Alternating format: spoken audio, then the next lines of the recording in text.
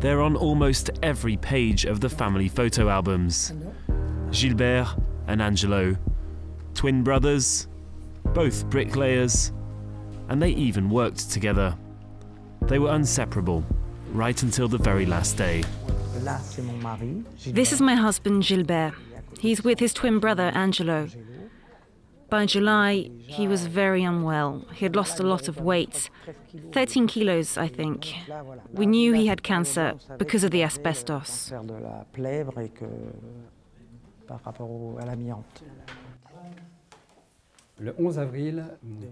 My father died on the 11th of April, and three months later, his twin, my uncle, told us he was ill. Ah we didn't even have time to mourn because we lived through the same thing for another two years until his brother died.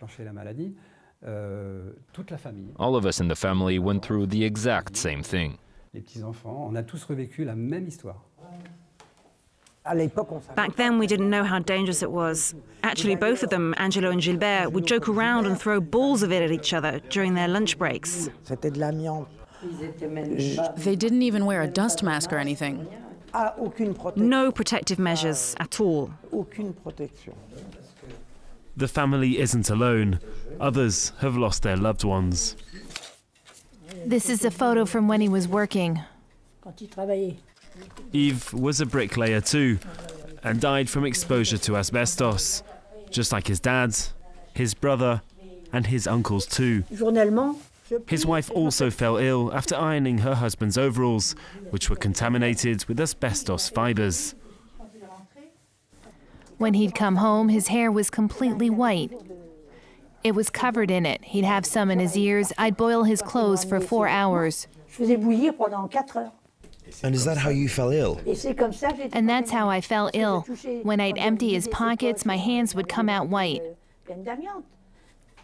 I think the state is also responsible for this. The bosses, too. And why the states? Don't tell me you think the state didn't know anything about it. For years, asbestos was used in factories, building sites, and even in schools. And people are suffering the effects of its widespread use today. In France, 3,000 people die every year after being exposed to the fibres, and a sad forecast estimates 100,000 deaths by 2025. Although it's been known to cause cancer since the 1960s, asbestos was only banned at the end of the 1990s. 30 years of disregard for its effects, or complicity, according to organisations. We knew about it and didn't do anything. Even worse, manufacturers, authorities were complicit in the matter. Health authorities were complicit too. They allowed people to use it and even tried to hide the scale of the scandal that was to come. All of them were complicit in this matter and should have come forward and talked about it. 100,000 deaths by the end of the epidemic. It's a license to kill. Millions of victims and just as many files. Many people gained compensation from the civil courts. But for activists, a crucial void remains a trial in the criminal courts. 23 years after winning a fight to remove asbestos from a university, this scientist is taking on another battle. The victims' families don't necessarily want to see people sent to prison. They first of all want to understand how this happened and who's responsible for it, and that this is made clear in the courts. The second concern is a concern about the future. The asbestos scandal is the biggest lobbying scandal we've ever had in France, with such huge consequences. There are other contaminating materials, and we must draw conclusions from what has happened and obtain a way of dealing with these kinds of health scandals in the criminal courts. But Gilbert and Angelo's family didn't get a trial.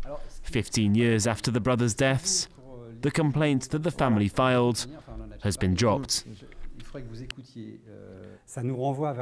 It takes us back to this idea that people can be responsible for something, but aren't proven guilty. Us, the victims' families, cannot accept this impunity. They were killed. The people at the top knew it was dangerous. I just can't mourn his death while the case is left lingering. This case hasn't been closed. Gilbert's granddaughter was only four when he died. She's on course to becoming a lawyer. Perhaps one day the family will get the justice they demand.